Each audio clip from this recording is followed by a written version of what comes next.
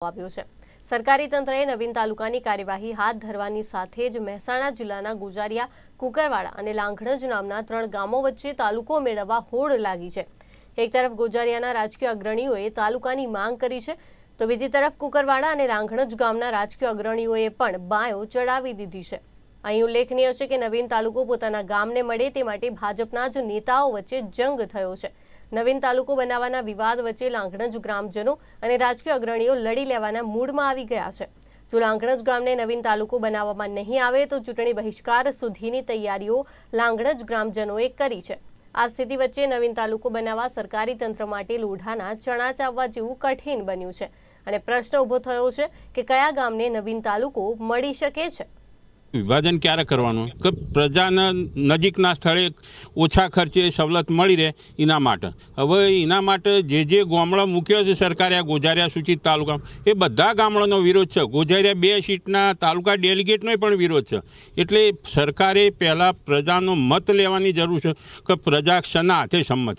અને લોગણજ ગામ સાથે ફરતો પોત્રીસ ગામે દસ કિલોમીટરની રેન્જમાં અમને સંમતિ આલી છે. એટલે સરકારે અમારી વાત લક્ષમાં લેવી જોઈએ. ગુજારિયાએ બી ને પણ માગણી કરેલી છે. અમે એમના પણ પહેલાં માગણી કરેલી છે.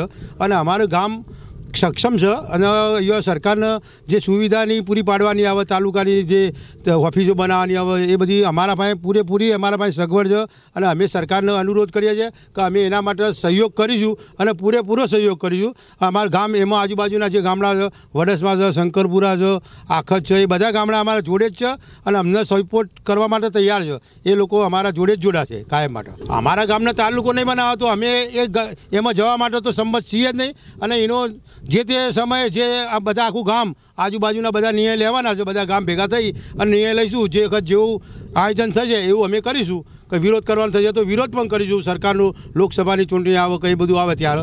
એ બધું અમારી આખી આજુબાજુના ગામડા સંમત છે અમારા સાથે. ગુજારિયા કરતાં ઘણી સારી ફેસિલિટીઓ અહીંયા ઉપસ્થિત છે. બીજી વસ્તુ એ પણ હું તમને ભવિષ્ય, મતલબ ભૂતકાળની વાત કરી દઉં.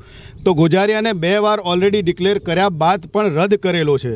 અને સાથે સાથે ઘણા બધા ગામડાઓ ગોજારિયાની નજીક હોવા છતાં પણ ગોજારિયાને એ પોતાની રીતે સંયુક્ત સપોર્ટ કરવા માગતા નથી.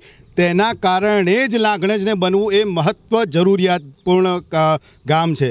બીજી વાત એ પણ કહીશ કે લાગણજની જોડે લગભગ આજુબાજુના દસ કિલોમીટરની ત્રિજ્યાની અંદરની વાત કરું તો પાંત્રીસ જેટલા ગામ લાગણજ સાથે સંપૂર્ણપણે જોડાયેલા છે.